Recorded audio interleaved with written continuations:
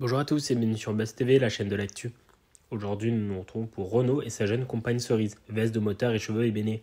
Baiser, match de foot, le duo complice. N'hésitez pas à liker la vidéo et à vous abonner. Renault, 70 ans, est fou amoureux. Depuis quelques semaines, le père de Lolita, fruit de ses amours passés avec Dominique Clinchny et Malone, fils de Roman, est tombé sous le charme d'une femme plus jeune que lui. Soigné de sa vilaine addiction, il semble pouvoir réécrire un beau chapitre à son histoire. Les deux ne se séparent plus et elle est désormais installée à Paris pour elle. Ils s'offrent aussi des escapades romantiques loin du tumulte parisien. Ainsi, Renaud et Cerise, le prénom de leur heureux élu, sont partis à Trummelmoult. Le couple ne s'est pas du tout caché. Durant ce serjus, on les a aperçus sur la butte de Saint-Anne ou dans les boutiques de l'île de Nantes, mais aussi flânant sur un banc, place Chaumet, pour partager quelques baisers ou de discussions sans fin. Merci à tous d'avoir regardé la vidéo, n'hésitez pas à la liker et à vous abonner.